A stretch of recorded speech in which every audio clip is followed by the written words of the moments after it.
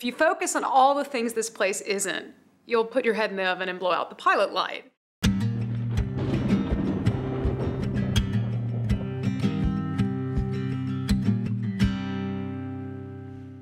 The homosexual agenda is destroying this nation. Okay, it's just a fact. I'm not anti, I'm not gay bashing, but according to God's word, that is not the right kind of lifestyle. It has deadly consequences. So it's the death knell in this country. I honestly think it's the biggest threat, even that our nation has, even more so than terrorism or Islam, which I think is a big threat. Okay, if you've got cancer or something in your little toe, do you say, well, you know, I'm just going to forget about it because the rest of me's fine? It spreads. Okay, and this stuff is, is deadly and it's spreading and it will destroy uh, our young people. It will destroy this nation. Do you stand with Sally Kern? Babies who are born don't hate. They don't know how to hate. They have to be taught to hate. This rally, Freedom of Speech Rally for Sally, is really about freedom of speech for all of us who want to stand up for the truth of God's Word. Representative Kern has repeatedly used her public office to demonize lesbian, gay, bisexual, and transgender Oklahomans and to attempt to deny them the exact same civil liberties she now defends so passionately. When I gave that, that infamous speech, I was not putting down any individual. Not by judging people by their character, not by judging people individually on what they do and what they don't do, but judging entire groups. And that can be the worst hatred of all. In a triple play of intolerance, Representative Kern offends lesbian, gay, bisexual, and transgender Americans, thousands of women and men defending the United States from terrorist attacks, and Muslims worldwide. Muslims respect the civil rights of all our neighbors. Divisive comments are counterproductive and distract our legislature and all Oklahomans from far more important issues that this state and this nation must focus on. I enlisted in the U.S. Air Force two weeks after high school graduation. Sally Kern's comments were not only absurd, but also ignorant and hurtful on a very per personal level. She said that homosexuality is worse than terrorism, that it's worse than Islam, a cancer in the toe of society. This came from a fellow Oklahoman representing my home state and my country. My dad is a cancer survivor. I am gay. I studied under Muslim instructors. I served my country dutifully and honorably for six years of my life.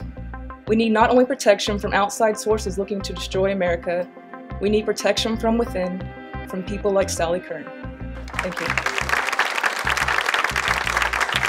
Each and every person is created in God's image and is precious in His sight. He loves all of us. He loves all of us equally, and He loves all of us regardless of what our sin is. Yet, God is not just a God of love, He is also a righteous and holy God. She seems to claim that her take on the gospel of Jesus Christ is the only legitimate one, and her opinion about sexual orientation is the proper and correct Christian one. While she may feel that way, the scope of the Christian community does not. I told the people when I was running for this office that I was a Christian candidate and that I believed we were in a cultural war for the very existence of our Judeo-Christian values. This situation, this situation proves that I was right. Thank you, Representative. How many believe that? Tulsa Interfaith Alliance urges all Oklahomans to stand firm for equal treatment for all and to continue to speak up against speech that could harm or lead to harm of others, especially those unfairly targeted simply because they may be different. I am Nancy McDonald, married to Dr. Joseph McDonald, and we have four children, three straight and one gay. I am offended as a mother by Representative Sally Kern's remarks about my child who is gay. I believe that gay, lesbian, bisexual, and transgendered persons are as American as any other citizen in this country. And to make any kind of disparaging remarks about them is abhorrent and abusive to every American citizen.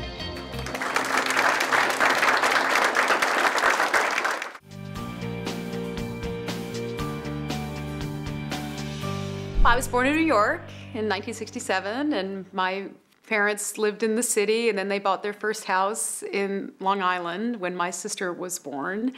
And in 1975, my father was transferred with his job with IBM to Dallas, and we lived there for almost three years. And then in 1978, moved to Atlanta, Georgia. And I went to middle school and high school there, and then I went to the University of Georgia in Athens. And when I graduated from there in 1990, uh, 1989, I worked for a few months on Capitol Hill in Senator Sam Nunn's office. And then I started my doctorate at the University of Virginia and during part of my time in grad school, I went back to DC to do my research, but I also then gravitated to, I was coming out then, and uh, it was an exciting time in the movement with the March on Washington in 1993. And I started volunteering at some of the national groups, particularly the National Gay and Lesbian Task Force. I was an intern for the Gay and Lesbian Victory Fund for a, a while, and uh, then I moved back to Charlottesville to finish my dissertation and then came out to Oklahoma. When I was interviewing at OSU, I really thought, my gosh, is this going to be a place where I have to go and be in the closet? Because if it is, I'm not going to take this job. And I was very lucky in that one of my colleagues was uh, savvy enough to uh, recognize that there might be a reason that one of the courses I teach is the history of sexuality in the United States. And he, in a very politic, non prying way during my interviews, sort of said, Look, if this is a personal thing for you, I want you to know there's been precedent in the department and you'll be fine. Although I wouldn't recommend being out university wide until you've been here a while. And that immediately put me at ease. And um, when I was partnered at the time, and when my partner did move out to Oklahoma the following year, she was always treated just like any other spouse in the department. We were really welcomed with open arms. We made the choice not to live in Stillwater, although I had lived there the first year. It was just too small. I was really about to lose my mind. And if you want a, a partner that has a job that doesn't involve preparing or handling raw food or pumping gas, the options are somewhat limited there. So we moved to Tulsa. And we didn't think we were going to stay here for very long. And but after about three years, and I was getting you know good interviews, but not quite the next thing. I thought, well, gosh, I might actually get tenured here and be here for a long time. And at that point, I had to do a little uh, mental shift because if you focus on all the things this place isn't, you'll put your head in the oven and blow out the pilot light. But if you flip it around, particularly if you are someone who is an activist, and say, wow, what a great place to affect social change. I had to sit with, you know, being told, you know, you can't be out loud and proud at, at OSU. And I think uh, that was really coming from a place of care uh, because the person knew the institutional culture of OSU much better than I did. But the interesting thing was from the very first semester I got to OSU, and it's not like I walked into my giant US history survey class and go, Hi, I'm a big dyke, let's learn about the Marshall Plan. It was somehow known in the underground of the LGBT students there that suddenly there was an openly gay professor, and there are not many of us there. And I had random LGBT students just show up in my office just because they wanted to talk to me or, you know, have a figure of authority that they felt was supportive.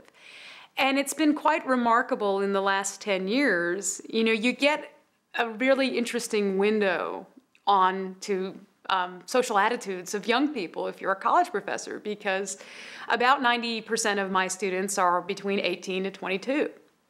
And where the first semester I taught at OSU, the mere mention in my US survey class that the Stonewall riots sparked the modern gay rights movement I, uh, that prompted a student to write a complaint on his teaching evaluation that I'll never forget it that said, This is a class in American history. I don't understand why I have to learn about gay people. But 10 years later, I have many students who openly identify as LGBT or say they have LGBT parents or the LGBT friends. Half the students who go to the, um, the SOTA, the gay rights organization at OSU, are straight. And students frequently will voluntarily pick out of, they get many choices of what they wish to read in my courses. They'll pick books about the gay rights movement just because they're curious. Or they'll say really nuanced things like, well, this doesn't really square with my religious beliefs, but I don't see how two people of the same gender getting married could possibly hurt my marriage and don't think the state should have that. And so there's been an amazing seismic shift in uh, attitudes of people under 30, even in a place as conservative as Oklahoma can be. You know, we are really at a turning point in this city where we could really acknowledge that this city has a lot of vibrancy and diversity and maybe that can really improve life for everybody here because I don't think that the reputation that Tulsa has for being an intolerant place has done anything positive for the city, certainly not in economic terms. I have lost count over the last 10 years of the number of talented, energetic, young people that cannot wait to get out of Oklahoma because they feel like they'll never be able to be their authentic selves here. Be it because they're liberal, be it because they just don't fit into the Susie sorority, Freddie frat boy ideal, or be it because they're gay and lesbian. And those are a lot, the precisely the sort of creative, engaged people that we need to lift this state out of a lot of insularity and poverty and horrible record on things like healthcare and domestic violence and child abuse. And hopefully we can do that. Because um, I think there are an awful lot of positive things that get lost in the shuffle when people just make the blanket assumption that being in Oklahoma means you're just an intolerant bigot. My own state has one of the most conservative approaches to gay rights issues in the world. I mean, they're closer to third world dictatorships than they are to civilized countries.